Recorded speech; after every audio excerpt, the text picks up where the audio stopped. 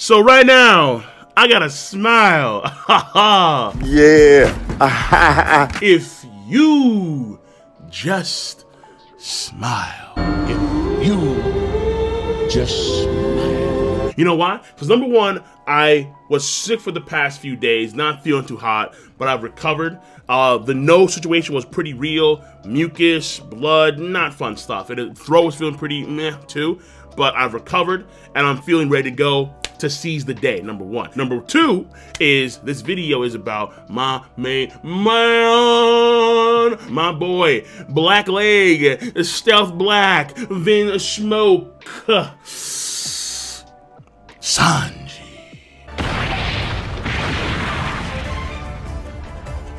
Mmm, my man. Sanji, Sanji, Sanji. That's right. Last arc was pretty damn good. It rose Sanji to the next stage of character. And in this arc, we start off pretty hot with the raid suit, bolstering his character even more. And then we have the epic page one beatdown, though we didn't see the results. Help me! Alright, which was, eh, nah, I wanted to see what happened. Can't deny it. When this man did a T-pose in the sky, with, with the clouds, with the heavens, like, yeah, I'm like, oh, my boy. My boy is ready. With that being said, let's talk about what's going on right now in the manga, obviously. Because in the manga right now, the flashback is almost over. Latest chapter is chapter 973, where we have the Denjiro stuff. And I'm surprised that we got a flashback stuff even in that chapter, because in 972, at the end of that chapter, after Chaden's death, they say we're like rushing towards the uh, real-time stuff with like the real-time characters, but here we are in a flashback even still in the latest chapter with Denjiro, which was good, I think, for his character. And one of the scabbards does get some more shine. All right, fair enough there. Fair enough, that's fine. But real time's what matters the most, obviously. And we are approaching the Fire Festival, and things are gonna get spicy. It's gonna hit the fan. It's gonna get real people are gonna hopefully major players maybe not now but at some point on the arc will pass away. I am hoping that oda takes out a very you know prominent character near and dear to many folks' hearts aka law but we'll save that for another time. Right now it's about my boy sanji. So let's talk about sanji in the near future at the end of the arc and then after the arc. So First things first, unlike Luffy or Zoro, Sanji isn't focused on either Kaido or Orochi. Now, we do know, however, that he is really pissed off about, the conditions of the folks in Wano country. Right before Zoro and Sanji save uh, Toko, you have Shinobu talking about how the folks are starving. Of course, when it involves starvation, that always hits Sanji's heart of hearts because back in the day, we all know, Zeff had to eat his own leg in order to survive when they were stranded on an island. And that, of course, is a major thing for Sanji. Not only that, but they also ate smile double fruits because they were starving, and they are permanently affected by the smile double fruits. Now, people are saying that Chopper somehow, some way, can reverse the smile effects. Maybe it's possible, but we'll set up for the Chopper video, which I don't want to do because it's Chopper, and Chopper really does. Ugh. But if you want me to do one on Chopper, on Franky, on Robin, and so on, let me know in the comment section down below. Or you can do, you know, yeah, yeah, that thumbs up does help as well. So let me know with either a thumbs up or a comment in the comment section down below. So again, Sanji right now, he doesn't have a main focus because again, for Luffy right now, his main focus is Kaido. And for Zoro right now, his main focus is Orochi. So plot-wise, Sanji is far more of a free bird compared to Zoro or to Luffy, which does give Sanji a lot of options in what Sanji is going to be doing for this arc. But obviously, given the whole stuff with the food and the folks starving in Wano country, Sanji at some point, I guarantee you, will play a role in trying to figure out how to fix that issue, without question. Now, the next thing is that Sanji and Shinobu, earlier in the arc, after Yasuie's death, they were scouting and they were trying to figure out what they're going to do when it comes to their allies. And in particular, it was their allies being trapped in the prison. So Sanji with the raid suit can definitely save those guys without question. There is another option when it comes to, let's say, Denjiro slash Kyoshiro, because he's also in the Flower Capital as well. Orochi has left for Onigashima for the Fire Festival, and so Denjiro slash Kyoshiro could play a role in saving the prisoners of the Rasetsu district, but Sanji could as well. So there are options there. It's just that keep in mind that Shinobu and Sanji were both scouting, very ninja-like, and surveying as to what was going on and what they could do when it comes to getting their allies. And this somehow may actually lead Sanji to Law. Because Law right now is... He's kind of like at least Oda's trying to portray as if like Law is somewhat of a traitor, but obviously we know now that the traitor has been around for a very long period of time. Kaido said to, you know, Chaden, you may want to check your men because we're getting intel from somebody that's a part of your camp. So essentially the traitor was even in the flashback and they run that deep. So it's safe to say that Law isn't betraying the Straw Hats, but I can definitely see Sanji and Law running into each other in some capacity. Now, the next thing here is that Sanji may get another fight with a Tobiroppo or Number or some of that sort, maybe another, let's say, Mimawari Gumi, potentially. Uh, again, Sanji's a free bird here, so he has a lot of options here. Uh, we don't know how to page one.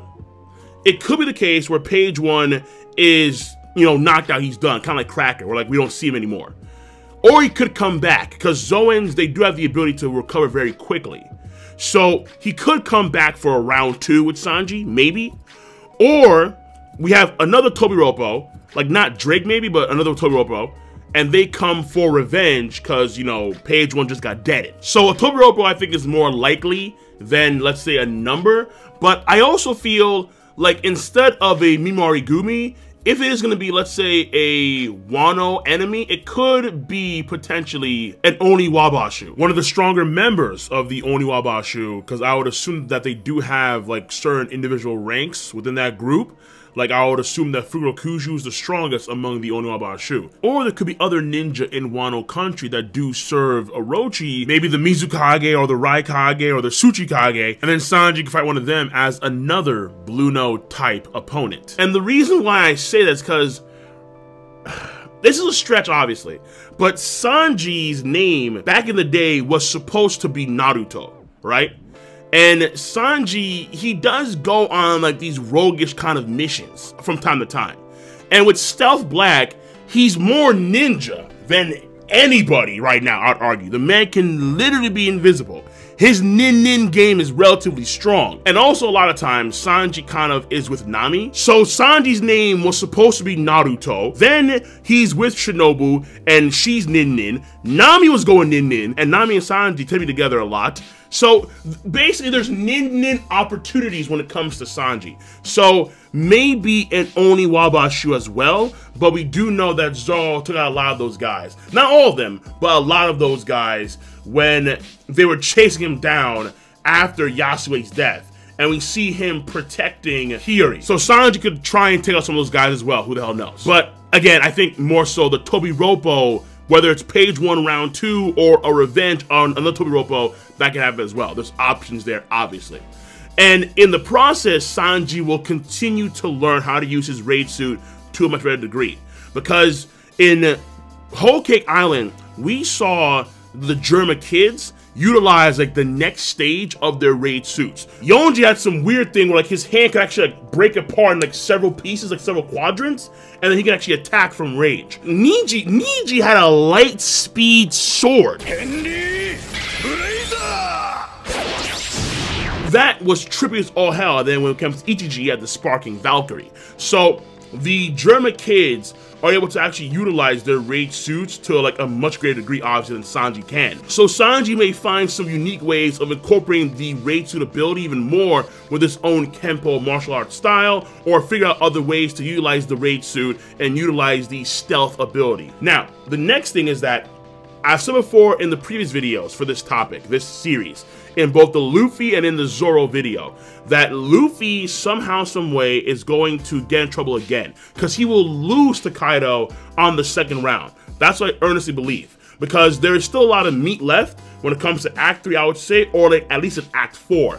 Because Act 3 or Act 4 are supposed to be, as far as I understand, the longest of the acts, and then Act 5 is a relatively short act to wrap it all up when it comes to a natural kabuki play. So Act 3 or Act 4, I can see Luffy trying to fight against Kaido again, and then he gets deaded again. And then something will happen to where Luffy will be in a very similar situation that Oden was in. Because Oden and Luffy, they do mimic each other character-wise in many respects. So, if Oden had to go through, let's say, some kind of execution, maybe Luffy will too. But again, maybe. But something similar will go down with Luffy that'll mimic Oden, for damn sure. And in this case, the Straw Hats are the Scabbards. And the Straw Hats will play some role in saving Luffy. And the Straw Hats will do what the Red Scabbards could not or would not do, essentially. So I can see Sanji playing a role in that, as well as the other Straw Hats in saving Luffy for like the true final, final battle of Wano Country. And then from there, there are three main fight routes that I see for Sanji. Number one is that Sanji's main foe for this arc is Drake. Now, this may seem odd because Drake is one of the strongest headliners a Tobiroppo and Ancient Zoan, and we saw how Sanji treated Page One. Now, whether or not Page One is still in commission, we're not too sure now. We may or may not find out later on this arc. However, or maybe even the anime, maybe even the anime may give us better details on the Page One and Sanji situation where we actually see Page One knocked out on the ground, like teeth missing and so on, and then Sanji walks away or he fades into the environment stealth style. Ooh, please, please, please, please! I'm begging you, anime, I'm begging you. But that being said, Drake, I would still say, is stronger than Page One or any other Tobiroppo. Because Drake is actually more relevant character. So he's more important to the actual story. He's also a member of Sword. So I would easily assume that Drake is actually stronger than a Tobiroppo. And he could be approaching, let's say, Jack's level, maybe. So on the safe side, Drake is the strongest flying six. But also, unlike page one, he's gonna actually understand the abilities of the raid suit of Stealth Black because he was born in North Blue and he knows Vinsmoke. And also, he's a Marine. And given those two things, he may have a true disdain for Sanji. So Oda could have Drake being Sanji's main foe in this arc. Now, the next main fight route for Sanji would be Sanji against Queen. Whether it's going to be a one-on-one -on -one or 2v1, it's going to be Sanji against Queen in some capacity. Now, if it's a 2v1, it could be, let's say, let's say that Drake is actually a fan of Germa Double Six. And again, I doubt that, but it could be Sanji and Drake against Queen. Or it could be Sanji and Chopper against Queen because Chopper is going to have a gripe with Queen because of the plague bullet stuff. And even though Chopper could cure it relatively quickly, he still hates the idea, obviously, of poisoning people and giving folks diseases as a means of warfare and weaponry. So it could be Chopper and Sanji against Queen. That's also very possible as well. If it is going to be a one-on-one, -on -one, then it's going to be the return of the one-two-three model that we saw in the pre-time skip in some cases, where it's Sanji against the third strongest, Zoro against the second strongest, and Monkey D. Luffy against the raid boss, the big baddie, the strongest among an organization. However, if that's the case, then we have the same problem with Zoro as we do with Sanji, which is the power creep. Because Zoro and Sanji have not shown any discernible means of getting stronger over the entire post time skip. We cannot say that Zoro got definitively stronger from Fishman Island up until Wano, until Enma. You'd assume he did because they do kind of get stronger over their journey, but how much stronger exactly? It's like it's not discernible in the slightest. And the same thing goes for Sanji, where it's not discernible in the slightest. And for Luffy, he's actually improved both his observation arm and haki over the time skip and unveiled Snake Man and Bound Man. And Luffy has always been stronger than both Zoro and Sanji. Yet Luffy needed help against Cracker with Nami, and against Katakuri, he lost to Katakuri several times before he finally drawed against Katakuri at the end of the fight. So even though Sanji had a pretty damn good showing on Fishman Island, where he unveiled the Blue Walk and the Skywalk. And then on top of that, he also did the Hell's Memories, a transformable state where his body's completely on fire. Like Sanji's Zoro equivalent of Ashura, if you would. We still cannot say that Sanji's improved over the course of the time skip. Or at least he hasn't improved as much as Luffy has, because Luffy is growing at least like four or five times the rate as the other Straw Hats. All the other Straw Hats. He's literally growing so much more than the rest of them, it's ridiculous. Now Sanji does have some pretty solid showings in the post-time skip.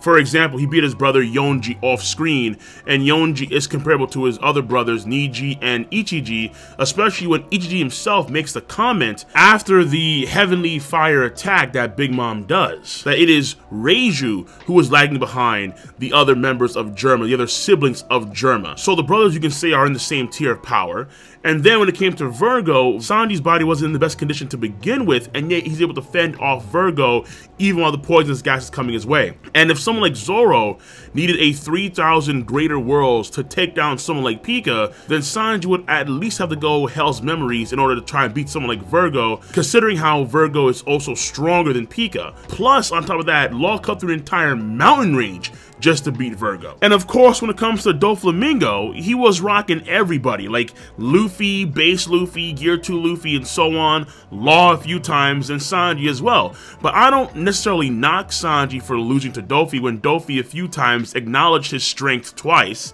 and then does a few name attacks on Sanji, and then finally does the thing that even stopped Diamond Jozu to pin down Sanji and the only person to ever break out of Dofi's string so far that we've seen in the post-time skip has been Boundman Luffy. So clearly I can argue with a lot of confidence and accuracy that given the context at hand, Sanji's showings for the most part have not been bad in the post-time skip. However, is it enough to say that after the Raid Suit power-up, he's then able to defeat a second division commander, someone like Smoothie, or someone like Ace for that matter, one on one. That's where it gets a little bit sketchy. That's where it definitely does get a little bit sketchy. But I do acknowledge that yes, in fact, this could happen. Now, the third main fight route for Sanji would be Sanji against Drake, and then later on, Sanji against Queen. He could have two main fights in this one arc. Now, other possibilities are the Big Mom Pirates playing a role as well when it comes to the fights. Now, initially, I felt like the Big Mom Pirates weren't going to play a major role in this, but since they're there in some capacity with Daifuku, with Smoothie, with uh, you know Mondor and so on, Perospero and so on, Sanji could fight against Daifuku, like because we saw those clashes in Whole Cake Island. We could have those clashes brought again in Wano Country. He could also fight against, let's say, Perospero because of the Pedro stuff. And Sanji did feel guilty for Pedro's death. So essentially, Sanji does have gripes with some members of the Big Mom Pirates. And because Big Mom and Kaido are in an alliance, let's say that the Big Mom Pirates are no longer waiting and they're actually in Wano country. Like they use Port Mole to get up to the area. Even though we see the numbers and Apoo do that, we don't see the Big Mom Pirates do that. I mean, maybe Kaido's being very cautious with Big Mom so far when it comes to her crew. Again, in my head canon, I would rather Big Mom not be in Wano Country and at some point leave later on for Elbaf. But nonetheless, this may lead Sanji fight against those guys as well because what happened during the Whole Cake Island arc. So these are the fight routes that I see going on for Sanji essentially in this arc. But wait! So I'm gonna add this hot spicy take because episode 924 dropped as of this addendum. The video was recorded right after chapter 973, but this addendum, this add-on, is after episode 924. And this episode with King the Wildfire, page one, Sanji, ooh, it's got me thinking. It's got me thinking a lot. In the past, before the episode, I was of the mindset that, you know what, maybe Sanji and King could fight, but it was more so of a a joke. You know, like, eh, probably not. But since Zoro can't fly and Sanji can fly, and the fact that King, even though folks want to say that he is some crazy uber swordsman, we haven't seen that yet. And his only attack so far has been in Pterodon form, knocking off the Big Mom pirate ship from the waterfall. No swordsmanship there at all. So, okay, he could be a good swordsman because he does have a sword. True blue, real deal swordsman. If it is him and Zoro one on one, let's say that King, he won't be flying around. He'll be fighting him on the ground one on one like a true blue swordsman. I don't see why he want to nerf himself like that, but it is what is there. Now that the episode dropped and we see King the Wildfire do a flaming kick, I'm thinking that somebody has to match the flaming kicks of King. Mm, somebody has to match. and of course, I'm talking about my boy Blackleg Stealth Black Sanji. Now, it's still not a main fight route because there's only one other time in the entire story where Sanji fought the second strongest dude and Zoro fought the third strongest guy, and that was back in Arlong Park. So it is very, very rare, but it could apply here. But now more than ever, because of the episode, and because, and I'm very confident in saying this, because Oda is giving Toei Animation the 411 on a lot of details he skipped in the manga, I am now more inclined to say Sanji and King could go down. It's not a main fight route yet, obviously. I would still lean towards Zoro versus King rather than Sanji versus King, but the episode did sway me a bit. It did, in fact, yes, sway me a bit. Yeah, yeah, yeah, yeah, yeah, yeah, absolutely. However, the same rules would apply here when it comes to defeating King. If it is Sanji versus King, it wouldn't make much sense given the natural flow of the story for Sanji to beat King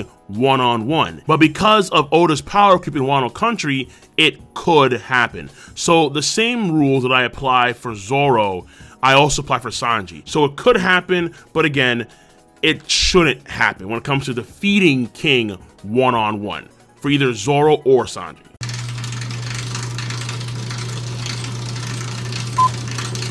However, there is another option that is not a main fight per se, but it is something that could happen if the Marines are involved, right?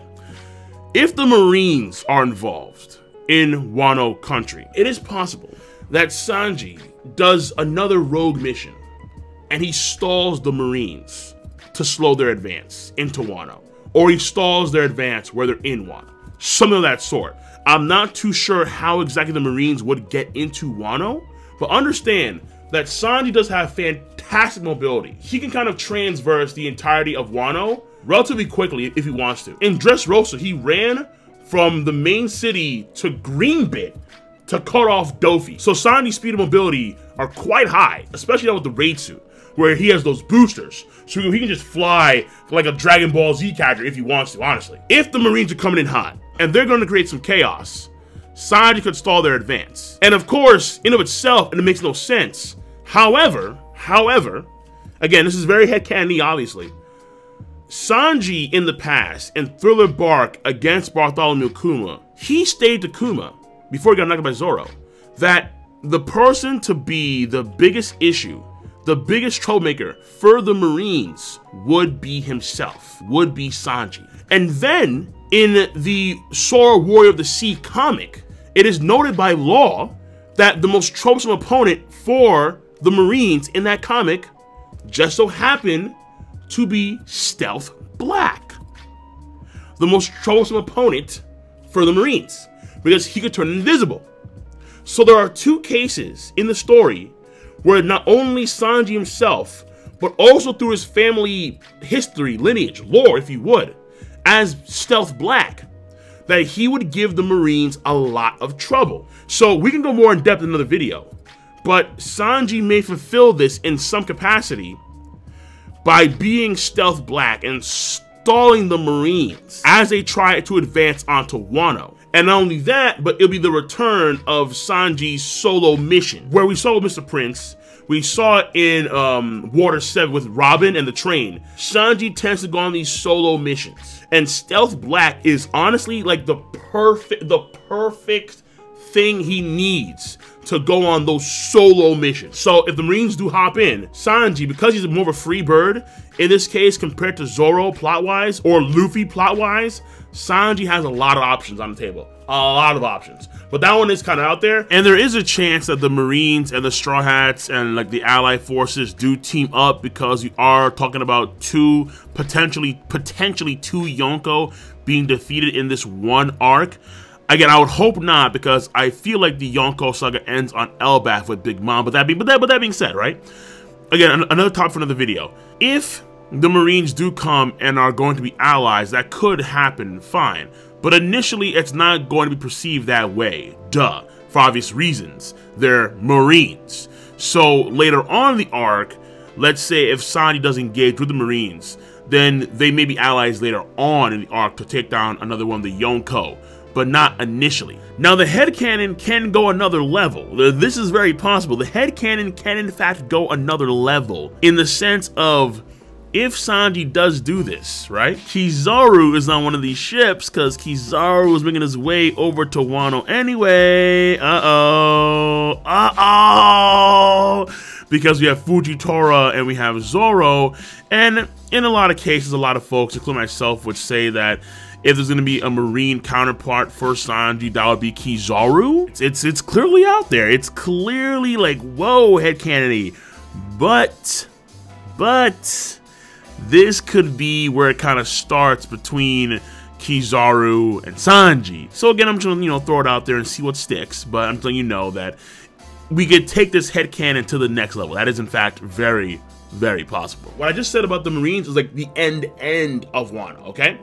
Now for the end end of Wano, let's just say that it's gonna be a group thing against Kaido. Like it won't just be Kid and Law and Luffy Let's say Kid Law and Luffy are not enough to defeat Kaido. Let's say you need like Drake and Hawkins, maybe Apoo, he also flakes, Kinemon, Kyoshiro slash Denjiro. Since they were the two first to kind of follow Oden, they'd be the two to kind of maybe join the fight against Kaido. If it's a group thing, I can also see Zoro and Sanji playing a part as well. So Zoro and Sanji would be a part of like the 8 or 9v1 against Kaido. Because Kaido's just that dude. Kaido is just that kind of beast where you need nine, eight cats against him. And again, among those cats would be Sanji. So, what role could Sanji play if it is, let's say, an eight or nine on one? Well, a lot of folks would say, okay, well, Zoro's gonna cut Kaido. Again, that to me is really ridiculous. I can see it happening, but I think it's insanely ridiculous for a whole host of reasons, i.e., it was both swords that cut Kaido in the past. And then number two, this is with Chaden, all right? Kozuki Chaden. Chaden apparently had no qualms at all. He had no problems at all using Enma during the flashback. But when Zoro grabs Enma, oh no, no my hockey, you give it back. So it's kind of ridiculous right now, I would say, to say that Zoro could cut Kaido, but it, but it could happen. But in the same vein, I can also see Sanji blocking Kaido's attacks. In particular, Kaido's flame breath. Uh, there's a certain dynamic I see going on with Zoro and Sanji with Luffy, but that's to be another topic video in the future. For now, let me just say this. The raid suit does have those innate properties of defense against fire, and we see that in Whole Cake Island. It does have very good fire and flame resistance. And then on top of that, Sanji himself, from the very beginning, has always had a relationship with fire. Think of Pearl at the Body restaurant, where the entire area is on fire, but Sanji isn't even sweating. He's just kind of chilling. And he tells Pearl, yo, Pearl, I'm a chef. I work with fire all the time. And Sanji's attacks, for the most part, are fire-oriented. So it's very safe to say that Sanji's fire resistance with the raid suit is exponentially high, even higher than that of the Germa siblings. So I won't say that he can block it wholesale, but I can definitely see Sanji playing a role in actually blocking the gigantic flame wave of Kaido. That I think can happen Though a bit far-fetched, it's in the same vein as Zoro cutting Kaido. And then finally, the last point for end end of Wano, there's gonna be like a recovery period, and very similar to Punk Hazard, I can see Sanji cooking up some fierce meals with the vital recipes that he learned from the comic guys. Yeah, yeah. I can see Sanji doing that, and he's gonna help the folks out, have them regain their vitality very, very quickly with that Kamabaka cooking. Especially if let's say Luffy and Zoro are in critical condition. So again, think of Hawkins' words. It could apply for after Wano, it could apply for at the end end of Wano. Who knows? But if Luffy or Zoro are in critical condition, Sanji's cooking is gonna help them because it strengthens their bodies innately. Remember that, okay? So Sanji will play a role in that as well, as well as Chopper when it comes to the recovery of Luffy and slash or Zoro. Again, just think of Hawkins' words here. It's probably for Luffy, but it could apply for Zoro as well. Now, after Wano, number one, the raid suit will be modified to benefit Sanji. It is unclear if they're gonna modify the raid suit during this arc. Because right now, Usopp and Franky have all they've been doing, for the most part as far as we know, have just been building ships. Like getting that fleet ready. So it is unclear if Franky and Usopp have made modifications to the raid suit at all. We have no idea. So for the safe side, I'm gonna say that's gonna happen after the arc. Because I don't know if they have time in the arc to actually do it. Now the next thing is Sanji's bounty will of course increase. Now, this will be mainly because of the prestige of Stealth Black, the raid suit. Again, the person to give the Marines the most trouble among Germa was Stealth Black. And once they find out that Sanji is in fact Stealth Black, his bounty will once again raise as well. And in this case, I can see it being either in the high hundreds of millions or over a billion. Sanji would detest that, but even more so, he would hate if the wanted poster changed to Stealth Black. So it's also very possible. Let's say that he's actually involved with of the Marines. It's very possible that they, you know, click a new picture of Sanji and it's him wearing the raid suit. So Sanji's wanted poster could also change to the stealth black image. So he'll be now recognized as Vinsmoke Stealth Black Sanji. That'll be his new wanted poster. And then finally, at the end of it all, power-wise, Sanji will be able to beat at least a third division commander at the end of Wano after Wano. So I can't guarantee second division because of the power creep. Again, with the natural flow of the story, whether he can beat a second or first division commander is highly unlikely. However, because of the power creep, these things may apply. So it always does depend on various things, like again, blocking Kyle's attack, or being able to take on Queen one-on-one. -on -one. It all does depend. Well, we do know that Sanji took out Page 1 for the most part, and Page 1, I think, is very similar to, let's say, an Oven or a Daifuku, where he's a senior officer caliber person among the Beast Pirates. So it's very likely to say that, yes, Sanji can beat a third division commander at the end of Wano, but when it comes to second or first, that's where things kind of get sketchy. And only time can tell. But that's it, folks. That's it. This is my video on Sanji and Sanji's endgame for Wano. Let me know your stance on any other topics at hand be sure to rate the video. It is not that hard to do. I guarantee you that because I know that you all have a device called ZMaoShu. You use ZMaoShu to click, click, click, rate the video, to click, click, click, subscribe, to click on that bell to join the squad. And of course, as always, feel free, feel free to, hello, please do, comment in the comment section down below. A peace, and have a nice goddamn day. Stay safe.